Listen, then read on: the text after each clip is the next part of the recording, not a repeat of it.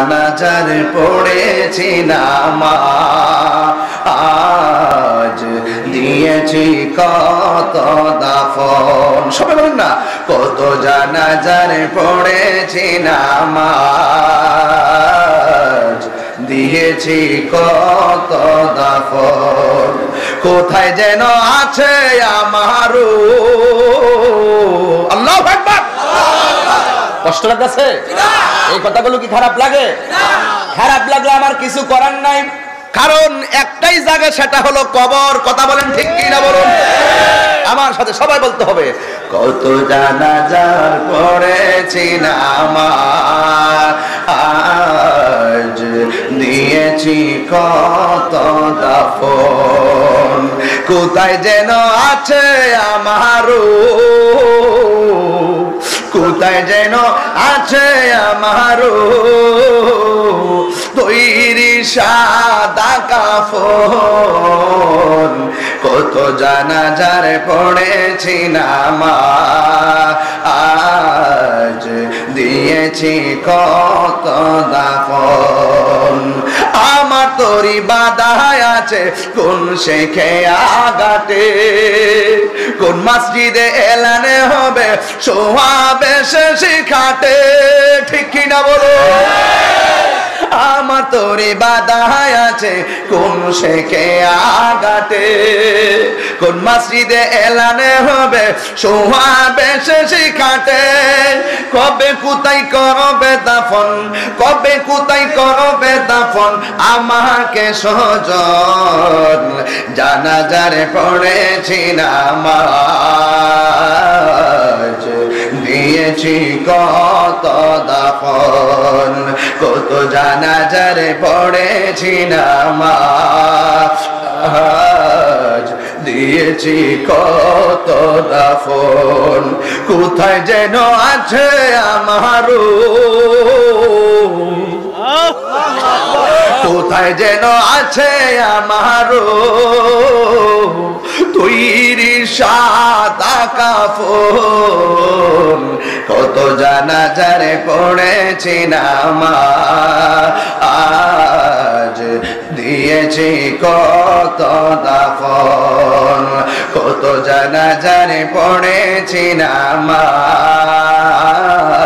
নামাজ দিয়েছি কত দাফন। এই, কোথায় যেন আছে আমারও? কোথায় যেন আছে আমারও? তৈরি সাদা কাফন, জানাজার পড়েছি নামাজ। দিয়েছি কত দাপন একটা জবান বন্ধ রাখবেন না। চিৎকার মেরে বলো, আল্লাহ একদিন তো তাহির কণ্ঠ থাকবে না। আজকে কত জোরে আমি একটা চিৎকার মারো একদিন এমন সময় আসবে, আমি চাইলে এত জোরে চিৎকার দিতে পারব না। ও আল্লাহ গো, ইমানের সাথে আমার মরণ হইব নি। ও নবী গো, মরণের সময় তোমার দিদার নসিব হইব নি। জোরে কি আর রাসূলুল্লাহ বলবেন না? এ দিলটা নরম করে চোখের পানি ছাইরা আল্লাহু আকবার। ও যুবক, আমার আল্লাহ কইব, ফেরেশতা ইমানদারের রুহুটারে বাইন্ডিং কর। এবার ইমানদারের রুহুটারে কাফন দিয়া বাইন্ডিং করব। হলিমপুরের বাজারে দুনিয়ার কাফন, দিয়া প্রাইস পেস দিব আর গায়ে লাগাইয়া। জন্মের তোরে তারে বাড়ি থেকে বিদায় দিব। আর এই দিক দিয়া আমার আল্লাহ রাব্বুল আলামিন ইমানদারের রুহুটারে বাইন্ডিং করে উপরের দিকে নিয়ে যাবে। এই দিক দিয়া রুহুটা এই দিক দিয়া হলিমপুরের বাবার বডিডারে বান্দা নিয়ে যাবে খাটের উপরে। আর ওই দিক দিয়া আমার আল্লাহর ফেরেস্তা ইমানদারের রুহুটারে নিয়ে যাবে বাইন্ডিং কইরা। ওই কুটি কুটি ফেরেস্তাদের প্রথম মঞ্জিলে। ওই দিক দিয়ে ইমানদার রুহুটা নিয়ে যাবে। প্রথম মঞ্জিলে যাওয়ার পরে ডাক দিয়া বলবে, ও ফেরেস্তা তুমি তোমার হাতে কি? এবার ফেরেস্তারা ডাক দিয়া বলবে, ও ফেরেস্তারা আমার হাতে কি জানোস নি? আমার হাতে হলো ওই যে দেখতেছো হলিমপুর এলাকার এমন মোমেন্ট বান্দার রুহুটা আমি বাইন্ডিং করে আনছি। এত সুন্দর গ্রাম এত সুন্দর গ্রাম, এত সুন্দর গ্রাম। আমার নাকের মধ্যে কোনোদিনও লাগে নাই। এবার ওই ফেরেস্তা বলবে, গেটটা খুললে দাও। এবার ফেরেস্তা মঞ্জিলের গেটটা খুলে দিবে ফেরেস্তারা আর ইমানদারদেরকে সালাম দিবে। ইয়া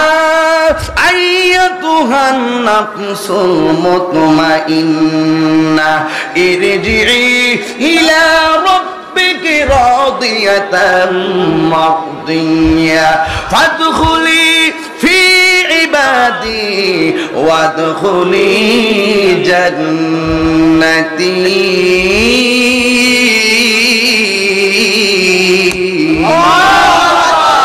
তেলাবাত করলে খারাপ লাগে এই জন্য যুবক ভাইরা আমার ফেরেস্তাদের প্রথম মঞ্জিলে ইমানদার নেওয়ার পরে যাবেন প্রথম আসমানে।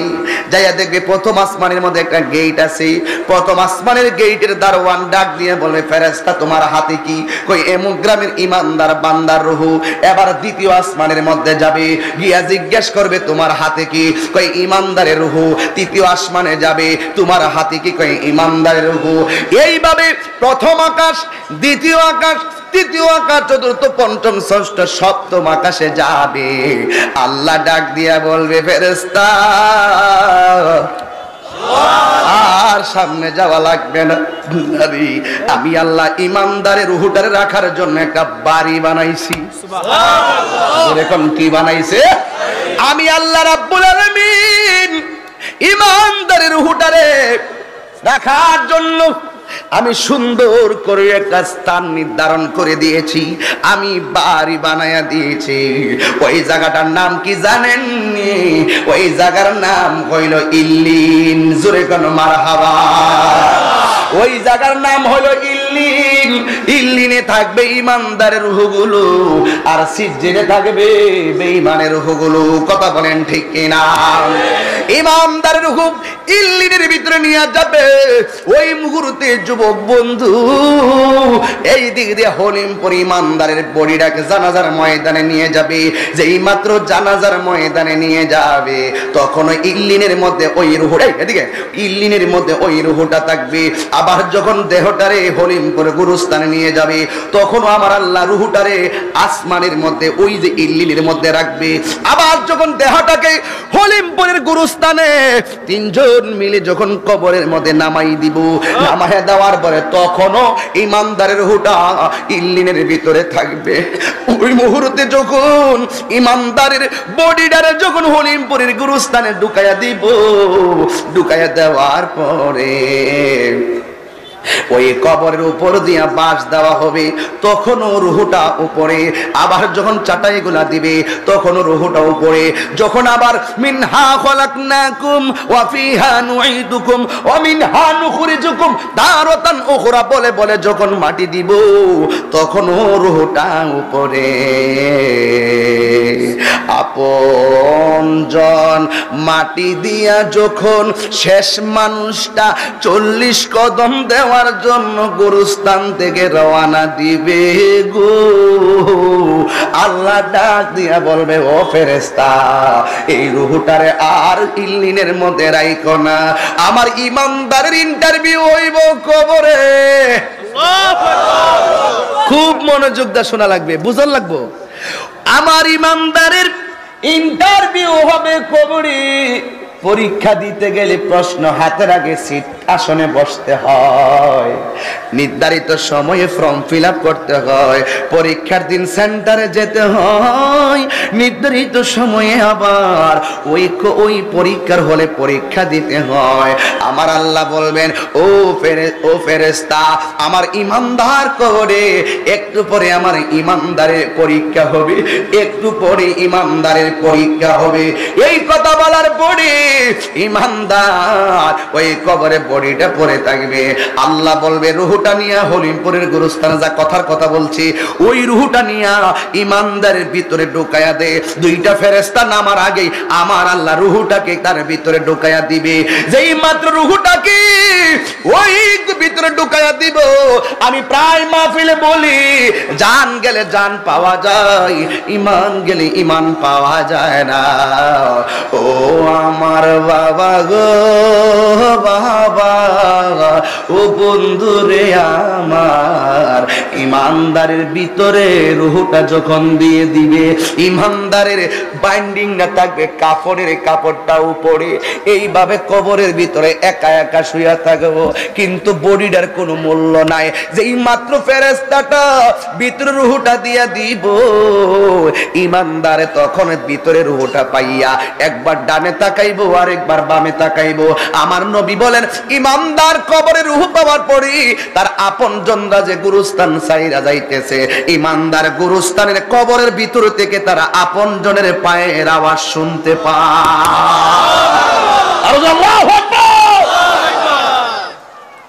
ইমানদারের পায়ের আওয়াজ শুনতে পায়। ইমানদার কয় কোথায় ছিলাম, কোথায় আসলাম, কোথায় গেলাম? এই কথা বলার পরে ইমানদারের ভিতরে রুহুটা শুধুমাত্র দেওয়ার পরে একবার ডানে তাকায় আর একবার বামে তাকায়। হঠাৎ করে ইমানদার দেখে কবরের ভিতরে একটা আওয়াজ হইতেছে। দুইজন ফেরেস্তা কবরে নামতেছে। কবরে নাইমা ইমানদার আগে সালাম দিয়েছে। সালাম দিয়া ইমানদার, এইভাবে একটু খেয়াল করেন না তুই তো চলে ইমানদার কবরের ভিতরে কাপড়ের কাপড় মুড়াইয়া শুয়া থাকে আর ছায়া থাকে। হঠাৎ কইরা সিনা নাই, জানা নাই, মুনকার নকিরে কবরের ভিতরে আসবে। আইসা ইমানদারে সুন্দর করে ভদ্রভাবে উঠাইয়া বসাবে। বসানোর উপরে ইমানদারে দুইটা, তিনটা প্রশ্ন করবে। এক নম্বর প্রশ্ন নম্বর রব্বুকা? ইমানদার বলবে, রব্বি আল্লাহ, ও হলিমপুরের মানুষ। জবানটা কইলা বলো, আল্লাহ। জবান খুলে বলো আল্লাহ। এই ডাকটা কবরে দিতে পারমুনি ইমানদারে বলবে রব্বি আল্লাহ। হো বাবা গো ও হলিমপুরের বাবা। এবার ইমানদারে দুই নম্বর প্রশ্ন করবে ও দিনুকা, তোমার ধর্মটা কি? ইমানদার হলিমপুরের গুরুস্থান থেকে বলবে, দিনিয়াল ইসলাম। এবার ইমানদারে জিগাইবো আমা হাজার রজুল? মান হাজার রজুল, এই লোকটাকে এই লোকটা সম্পর্কে তুমি কি ধারণা করতে? ইমানদার বলব, তিনি আমার জাহান, তিনি আমার প্রাণ, তিনি আমার ইমান রহমাতুন্নিল আলামিন। যেই মাত্র ইমানদার জবাব দিব দেওয়ার সাথে সাথে আমার আল্লাহ বলবেন, ও আমার এইদিকে তাকাও, ও আমার ফেরেস্তারা আমার ইমানদার পরীক্ষায় পাশ করেছে। তাড়াতাড়ি জান্নাতি জারি জান্নাতি যাইয়া, জান্নাতি একটা বিছানায় আন, বিছানাটায় আনিয়া ইমানদারের বোর্ডের নিচে বিছায়া দে। কি যে কত সুন্দর সুন্দর বেড আমাদের মৌলিবাজার পাওয়া যায়। নবীগঞ্জে পাওয়া যায়, বাহুবলে পাওয়া যায়। স্বয়ং আল্লাহ যে ইমানদারের জন্য জান্নাতি বিছানাটা বিছায়া দিব। কেন জানেননি? আমার আল্লাহ বলবেন, এই বিছানার ভিতরে ইমানদার কেয়ামত পর্যন্ত ঘুমায়া থাকবে। শুধুমাত্র তাই নয়, রুহু দেওয়ার পরে ইমানদার যখন ঘুমায়া, তা ঘুমাবে। কিন্তু ইমানদার শুভার সাথে সাথে ঘুম আসবে না। আমরা কিন্তু ঘুমাইলে একবার ডানে তাকাই আর একবার বামে তাকাই এখন মাহফিল দিকে বাড়িতে যাওয়ার পরে বিছানায় শুইলে কি সাথে সাথে ঘুম আসে নাকি? একবার ডানে যাই আর একবার বামে যাই, ইমানদার যখন বিছানাটা পেয়ে যাবে, আবার আল্লাহ দিবে বিছানাটার মধ্যে ঘুমায়া থাকার জন্য। কিন্তু আল্লাহর লীলা খেলা বোঝা যায় না। ইমানদার ওই কবরে জান্নাতি বিছানায় একবার ডানে যাবে আর একবার বামে যাবে। ডানে যায় কি দেখব জানেননি? ডান দিকে কাট দিয়েই দেখবে, ওই কবরের ভিতরে একটা নূরের লাইট জ্বলে আছে?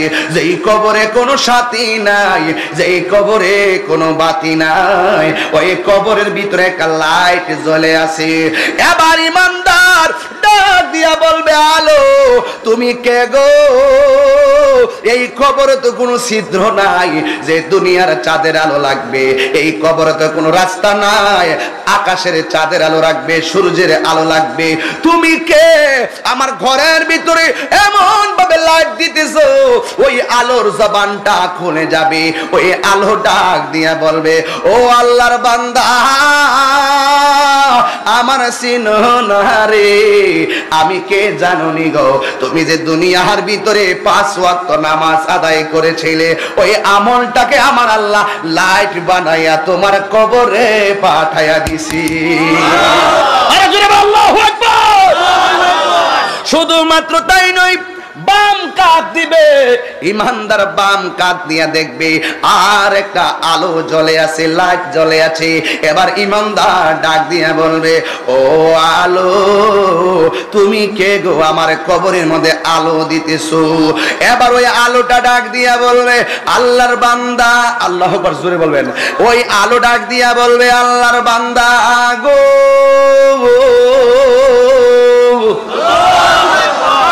আমারে চিনো না। আমি হইলাম দুনিয়ার তোমার কোরআন তেলাওয়া জবান খুলে কোন আল্লাহ আকবার। এই জন্য বুড়ি ইমানদার কবরে গেলে শুধুমাত্র সহযোগিতা। আপনারা বলেন, নিয়ামত দেওয়ার দা মালিককে কিন্তু আপনি একই কবরে যদি বেঈমান হইয়া যান, আমার নবী বলে, আপনার নবী বলে, বেঈমান হইয়া কবরে গেলে তুমি যত কষে করো না কেন, কিন্তু বেঈমান হইয়া কবরে গেলে ডান পাশের মাটিটা এক প্রান্তে চলে যাবে, বাম পাশের মাটিটা আরেক প্রান্তে চলে যাবে। ও বন্ধু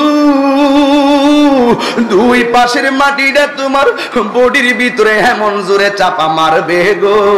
তোমার হাড্ডিটাই একেবারে গোড়া বানায়া ফেলবে। ডান পাশের হাড্ডি গুলি বাম পাশের হাড্ডি আল্লাহ কি ভাষায় বয়ান করব? এখন গায়ে জোর আছে, কথা ভালো লাগবে না। এখন ক্ষমতা আছে, কথা ভালো লাগবে না। কিন্তু লাশ হইয়া কবরে যাও, দুনিয়ার কোন ধরনের দুহাই কবরে চলবে না। কেন জাননি? আল্লাহ আমি তোদেরকে সাইরা দিছি, রাস্তা কয়টা? কথা কয় না, রাস্তা কয়টা? কাগজ কাটকার গরিব বানাকার, উড়াতা হায় আসমানমে।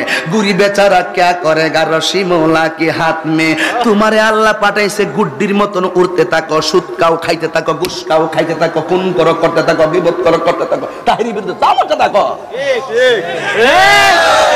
গা পেট বড় কইরা লাগাইতে গাইতে দুনিয়া সমান কইরা লা কিন্তু হিসাব আছে না নাই? এই জোরক হিসাব আছে না নাই? ওই আসল নাম কি? আরও জোরে নাম কি? ওই কবরে গেলে হিসাব ফাইনাল হবে? এখন বলবেন তাগিরি হুজুর কবরের মাটি কেন আমরা চাপা দিব? কারণ হলো একটাই, কারণ কবরে যাওয়ার আগে মাটির উপরে থেকে থেকে আল্লাহর সঙ্গে নাফরমানি করছি, মাটির উপরে থেকে থেকে হারাম খাইছি, মাটির উপরে চইলা চলে আল্লাহর বিধান মানি নাই। এই জন্য ওই মাটির ঘরে যাওয়ার পরে মাটি ইচ্ছা মতো তোমার একটা চাপা মারবে। আমার নবী বলে, এই মাটি চাপা দেওয়ার পরে তার যে কণ্ঠের আওয়াজটা, এই আওয়াজটা যদি পৃথিবীর কোনো সুস্থ মানুষের কানের মধ্যে লাগতো, ওই সুস্থ মানুষটা কানের পর্দাগুলা ফেটে যাইতো। আর লোকটা রক্তকরণ হতে হতে মারা যাইতো। এই জন্য আমার যুবক ভাইরা ওই কবর যাওয়ার আগে আল্লাহর বিধান দরকার আছে না না শুধুমাত্র তাই নয় ও যুবক কবরে শুধুমাত্র আল্লাহর সঙ্গে নাফরমানি করলেই শুধুমাত্র কবরে আজাব নয়।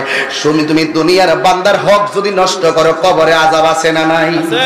তুমি যদি দুনিয়ায় মা বাবারে কষ্ট দাও কবরের ভিতরে আজাব আছে না নাই? এই জন্য একটা ঘটনাই আমার মনে পড়ে গেল বলব? একটা ঘটনা মনে পড়ল। এক আল্লাহর বন্ধু গুরুস্থানের পাশ দিয়া যাচ্ছে। যাওয়ার পরে আল্লাহর বন্ধুর বেলায়তের পাওয়ার দিয়া কবর থেকে একটা লাশ উঠাইছে। আল্লাহ বলবেন না? কবর থেকে লাশ উঠাইছে। আরে, আমরা দেশে তো একটু সুন্দর হইলে মনে করে যে, না জানে কি সুন্দর রে। কবরে যাওয়ার পরে বুঝবা সেই সুন্দরটা থাকে কিনা। বাংলাদেশের একজন লোক ছিল যেই লোকটা মারা যাওয়ার পরে তদন্তের স্বার্থে পুলিশ আবার কবর থেকে লাশটা তুলছে। এক নায়িকা মনে হয় সম্ভবত। তারা ছয় মাসটা সাত মাস পরে লাশটা কবর দিকে তুলছে। থাকতে তো নায়িকা ছিল, সুন্দরী। কিন্তু কবরে দেওয়ার পরে ছয়, সাত মাস পরে কবর থেকে উঠানোর সময় বাড়িঘরের মানুষ সব লাইন ধরছে, সুন্দরী মেয়েরে দেখবে। কিন্তু দেখা গেল তার হাড্ডি ছাড়া কবর ভিতরে আর কিছু নাই। কোথায় গেলে তোমার রূপের বাহাদুরি? কোথায় গেলে তোমার সম্পদের বাহাদুরি? কবর হবে আলোকিত তখনই যদি তোমার হৃদয়টা আল্লাহর প্রেমে আলোকিত হয়, নবীর প্রেমে আলোকিত হয়। বলো? আল্লাহ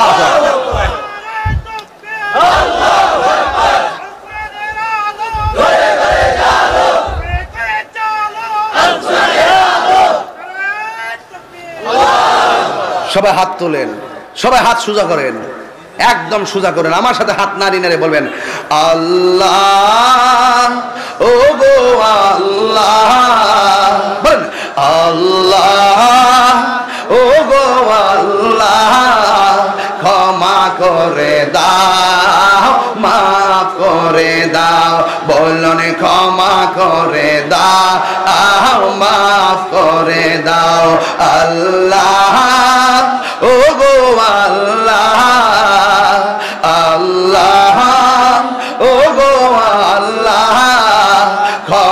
করে দাও আহ মাফ করে দাও।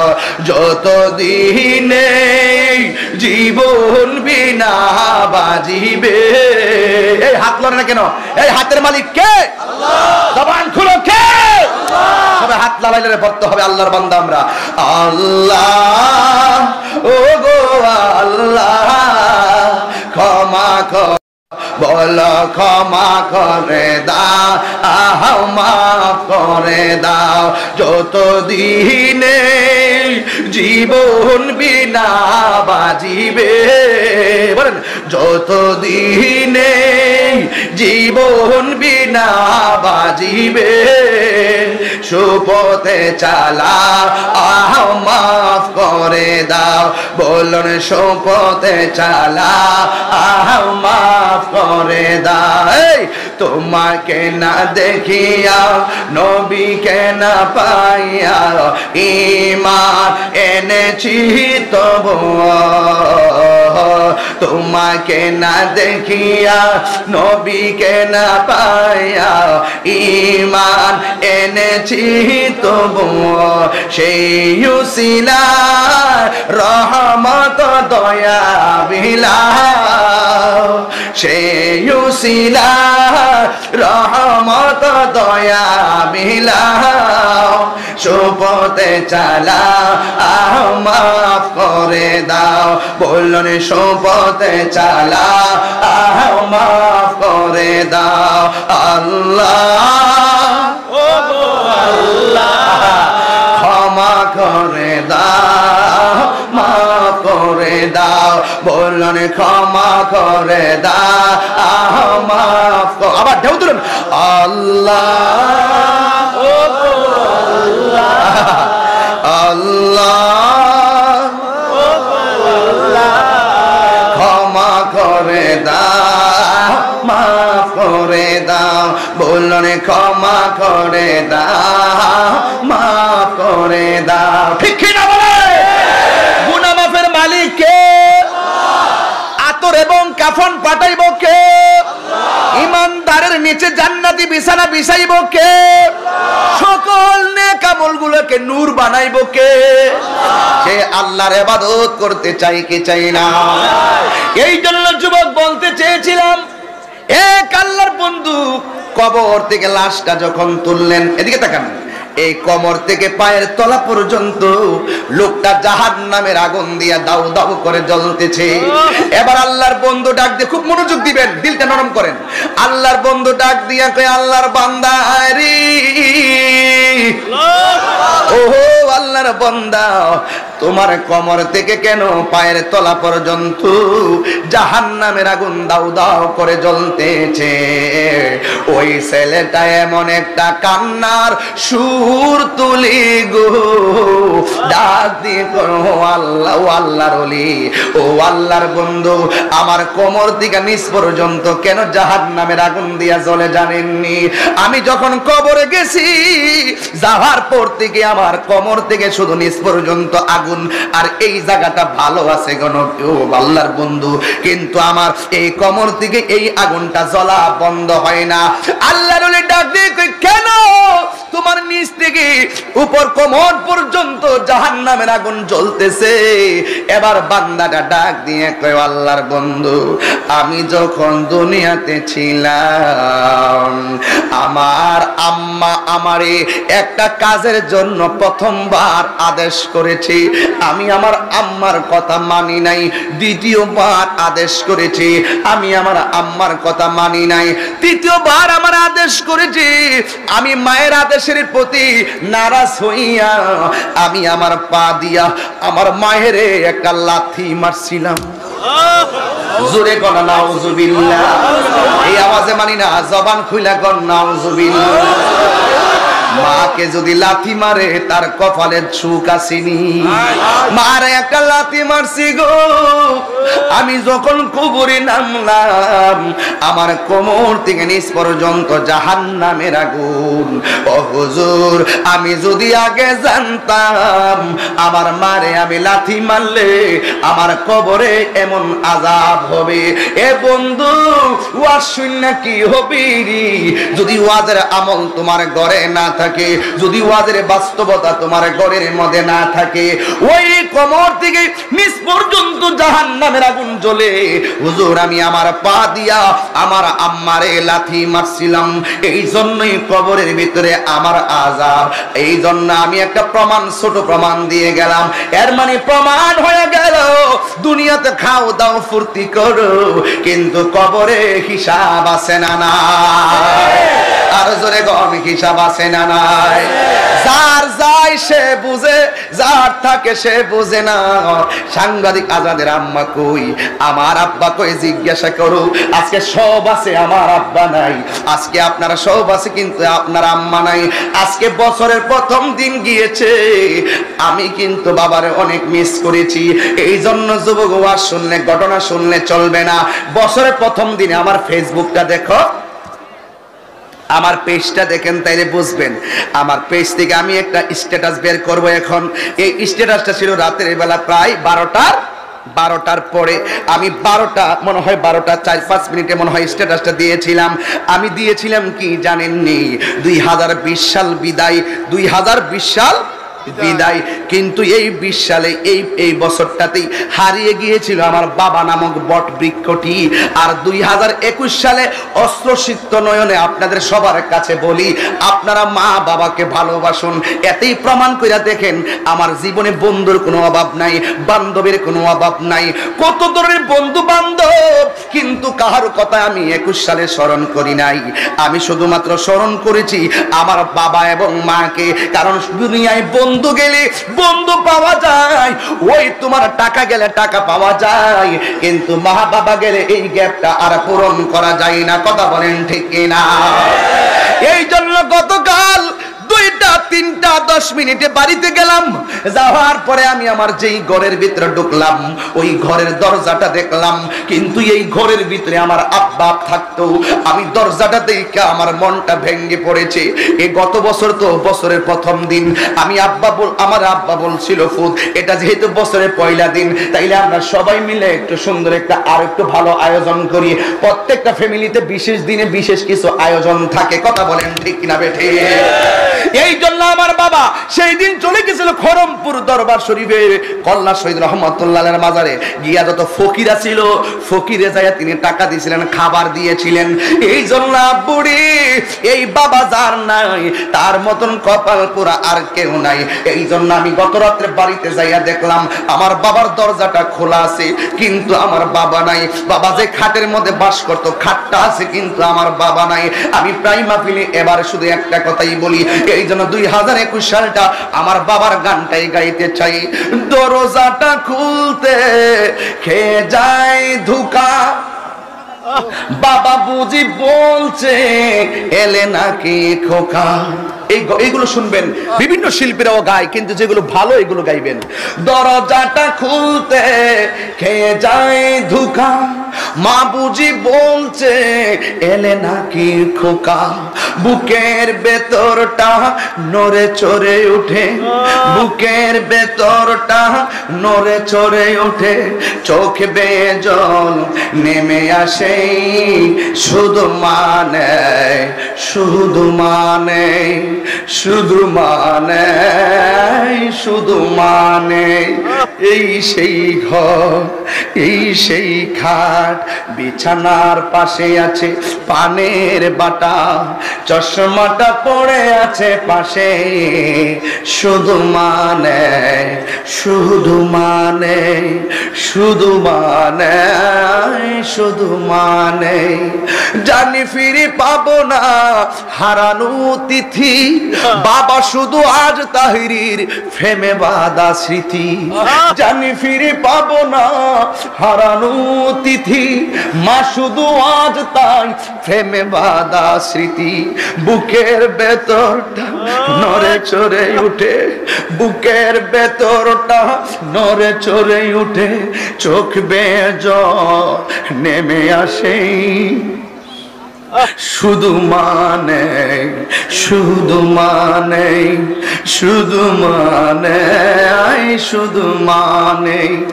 এই সেই ঘর, এই সেই খাট বিছানার পাশে আছে পানের বাটা চশমাটা পড়ে আছে পাশে। শুধু মানে শুধু মানে শুধু মানে শুধু মানে। একটা জবান বন্ধ রাখবেন না। হলিমপুরের গুরুস্থানে যার বাবা গেছে, সে বুঝবে বাবা কেমন সম্পদ। হলিমপুরের গুরুস্থানে যার মারে তিন বানায় দিয়েছ, সে বুঝবে মা হারানো কত সম্পদ। এই জন্য বছরের প্রথম দিন দুই হাজার একুশ সালে প্রথম জানুয়ারি আপনাদেরকে শুধু একটা কথাই বলব। মা বাবারে কান্দাইয়া তাহিরির বয়ান শোনার জন্য হলম হলিমপুর আসবেন। আপনার মতো শ্রোতা আমার দরকার নাই। মা বাবার কষ্ট দিয়া আমার কাছে মুড়ি ধয়ে আমার আব্বা আব্বা করবেন, বাবা বাবা ডাকবেন, মামা মামা ডাকবেন। আপনার মতন মুড়িদ আমার দরকার নাই। মা বাবা সন্তুষ্টি হলে আমার আল্লাহ সন্তুষ্টি।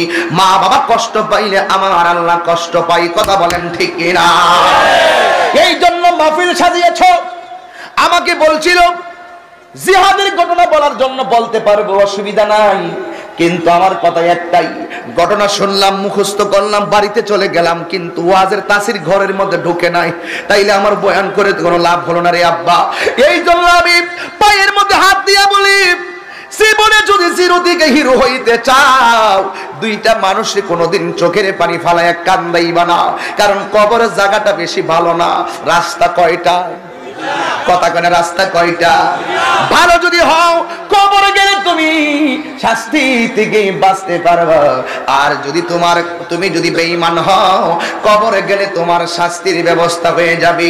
এই দুনিয়ার কোন মানুষ যদি রাস্তায় বিপদে পড়ি তাইলে তোমাকে সেভ করার জন্য সমাজের মানুষ আসবে।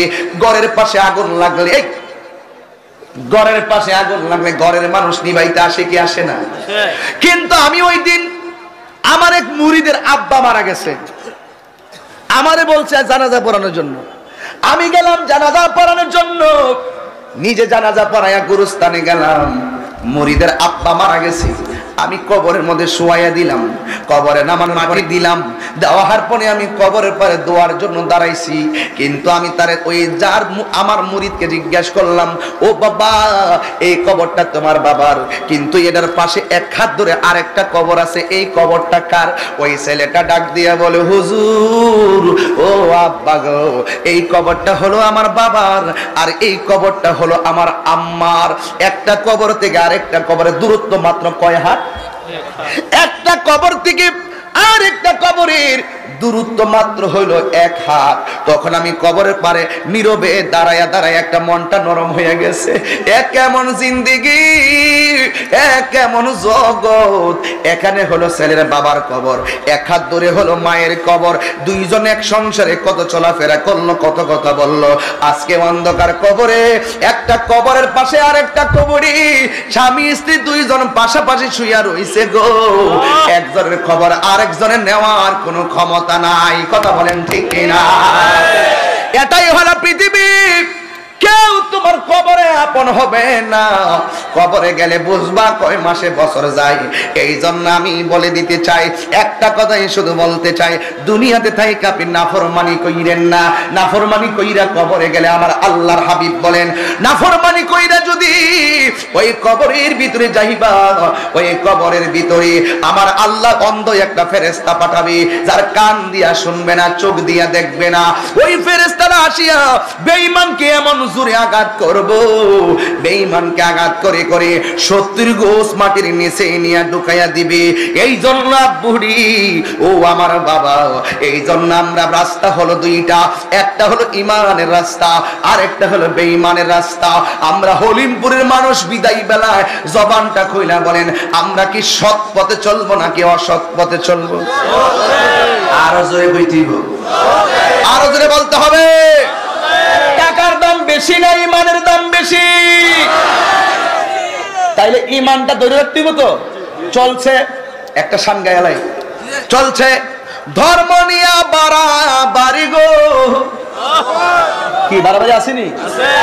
এক তাহিরি বালানা এতে কই জাহেরি বালানা কত ধরনের ধাক্কা ধাক্কি আসেনি।